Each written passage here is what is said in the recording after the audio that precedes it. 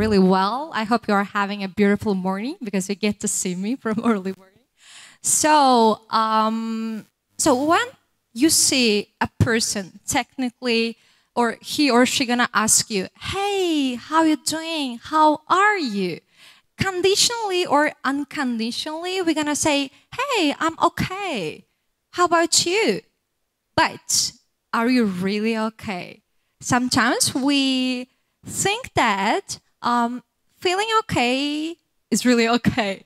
But actually, not feeling okay is the first step of being okay.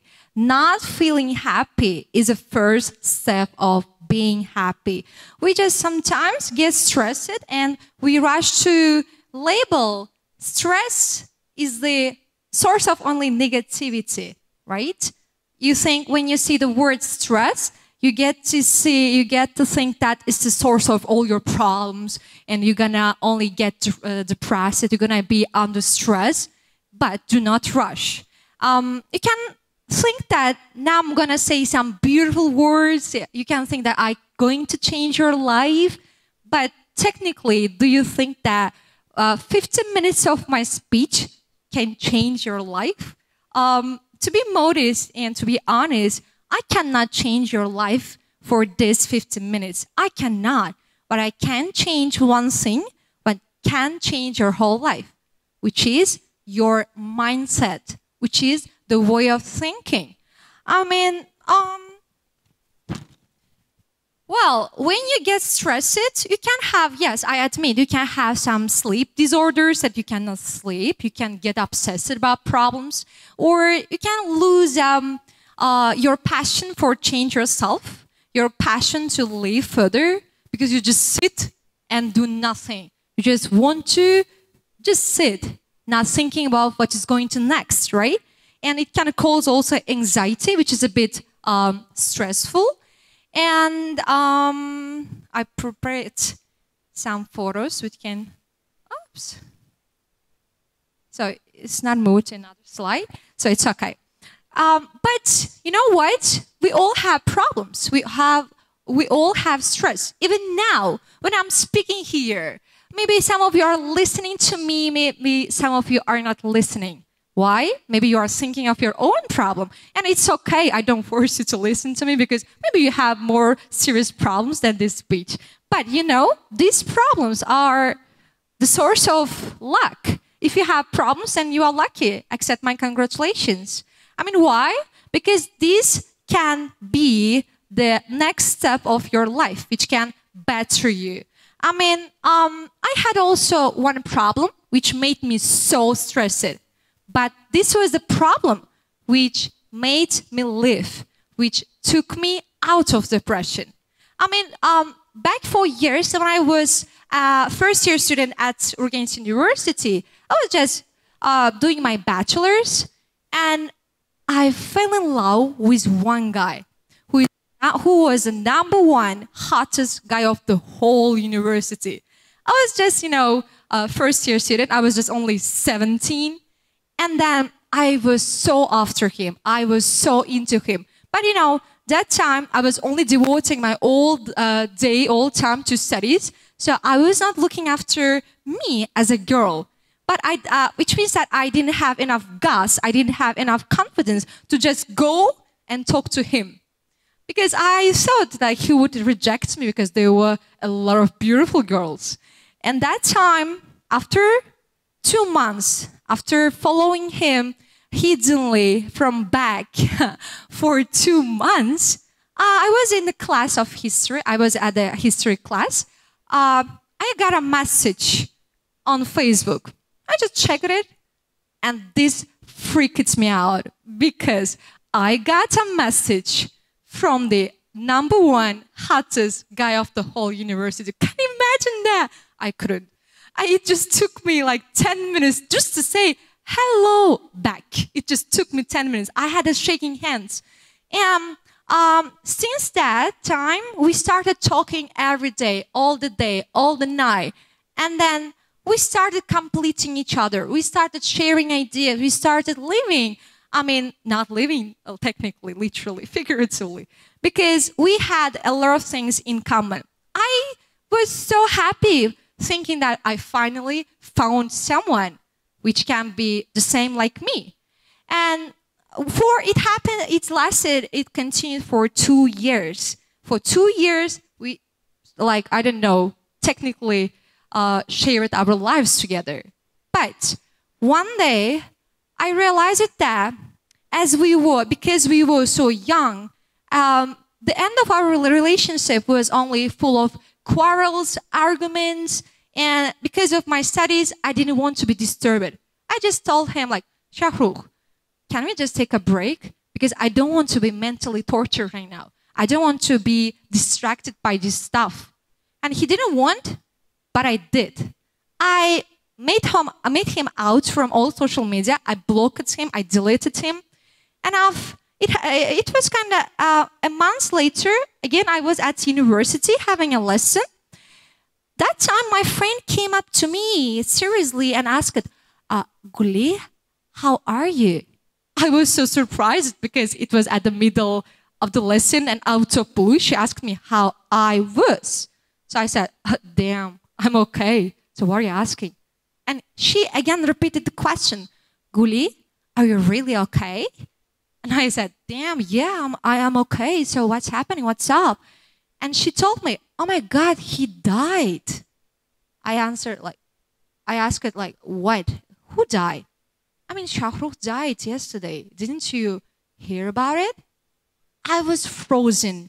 I couldn't breathe. Uh, it turned out that he had a cancer. When he wanted to tell about it to me, I just ignored him. I didn't listen to him. Could you imagine? I was so depressed. I was under high level of stress. I realized at that time that um, movies are not made up. Movies are taken from life because literally I couldn't sleep. I couldn't eat anything because I was only blaming myself for not listening to him, for not spending his last moments with me. So, but I realized that stress helped me that time to get out of the situation. Like, how? I mean, um, when I got stressed, I realized that stress helped me in three ways. The first way is just imagine, I, I, get, I have a quick question to you. When you have a problem, do you want to see people? No. Do you want to talk to people? No. You just hide yourself into the room, right? You have a, like your own room in, at home, and you just when you have stress, you just rush to that room and lock yourself behind it. Yes, because you don't want to see people, you don't want to talk to people, you don't want to share your problems to people. This is how stress helps you in the first place. I mean, whenever you are stressed, you buy some time for yourself you will have only you time. Which means that, um, which means that in a normal life, when you have just problems, you just rush to your friends. I have a problem. You just rush to your family or mom is, mom, I have a problem. Yes. And I mean, like, it's okay to rush to them because they are your own close people. And why I cannot move this? Ah, uh, okay, okay, okay. This is how I look when I get stressed. Um, look at this picture, please. Look at this. So, what can you see? What can you literally see? Some people see the city. Some people see diff- totally different thing. Some person, like my friend, saw a photo of the a person. I don't know what the hell he was talking. The same happens. I mean, everyone can see it from different angle. Everyone can see it differently. The same with your problems. Everyone, everyone has their own life. The same with their problems. If I have a problem, if I ask her advice, she can give totally different advice than the person next to her. Um, which means that maybe she has different problems. I have different problem. She has different solutions to this. I have different solution for my problem.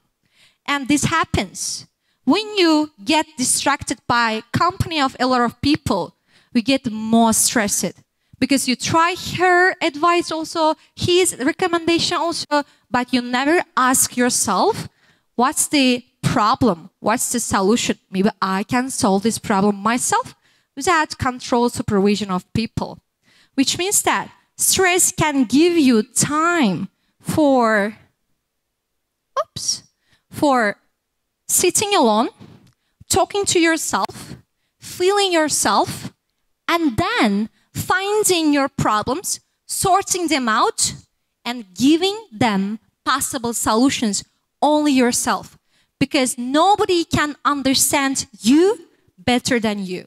Nobody can know you better than you. Yes? Nobody can feel what's happening inside. And the second one is if you are also an art person like me, you don't want to share your words with people because of two reasons. The first reason, you don't want to burden people with your own problems because um, she has her own life. She has also problems. Why should I be extra problem to them by telling my, you know, problems? And second, maybe sometimes you feel a bit ashamed to tell all of your words, even to your mom. Even to your mom, you don't share all your words. Yes? That time, get a pen and paper and start writing them down. Put your emotions on a paper because it cannot ask you why. It cannot ask you how. You just write them down. The same happened to me. Can you imagine that? I wrote a book after I got stressed the, about my, that relationship with Shahrukh. I got so depressed and I started writing because I didn't want to talk about it to my friends. I don't want to cry like a baby to my mom. That's why I just started writing. And then, can you imagine? After I publishing it, in a week, it was sold out. It was sold out. I just bought an iPhone for the price of this book. I mean, we can first earn money and then we can just write a book as an author. Because when you're writing something, when you get stressed, stressed, it's not your mind which is writing these words, it's your heart which is feeling every single word that you are writing down. That's why be stressed and be a millionaire. And then this is my first novel called Jane, and the second psychological thriller called Something. Okay, so as I told, oops, as I told, uh, you can be, we can be, everyone, everyone sitting is here can be an artist. You can say, what the hell is this girl calling me artist? Why? I cannot draw. You can. Just get a painter, splash the colors on a paper, and you can get an abstract art from them.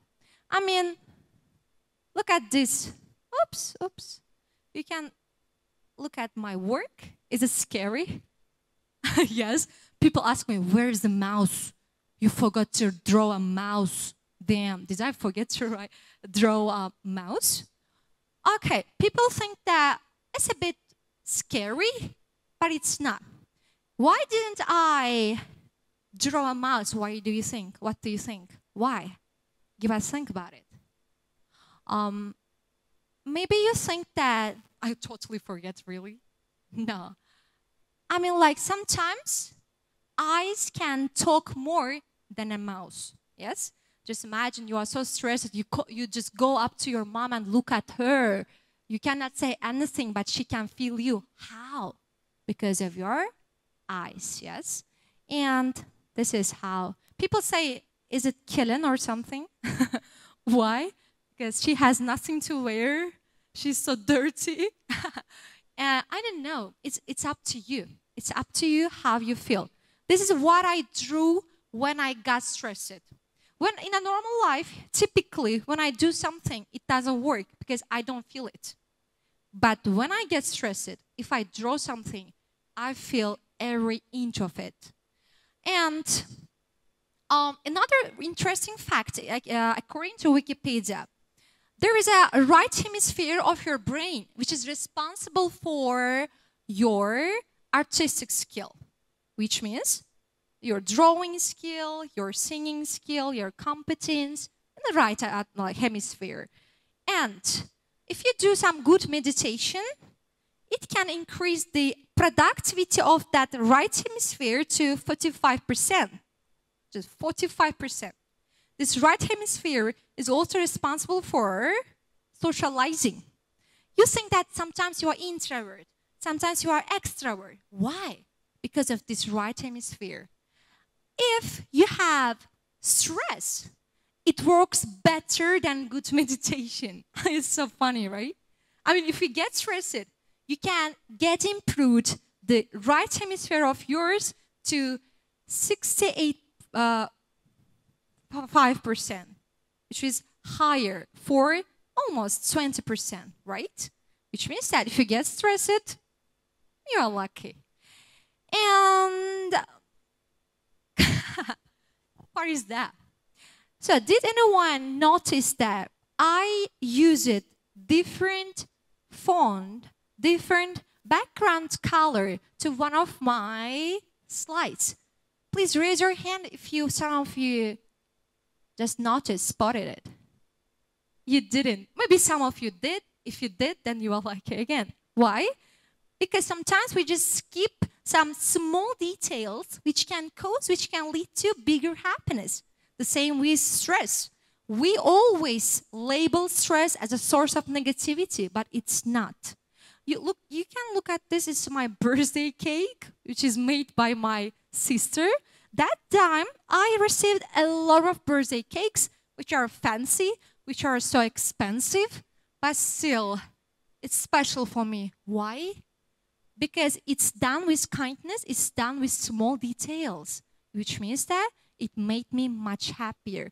Now, um, I need one volunteer. I, do, I need one volunteer. Um, but think about it twice. The task is a bit um, difficult. So, but it can be rewarding. So I need one volunteer, please. One, only one volunteer. Any brave? Yes, please come. Yes, please come.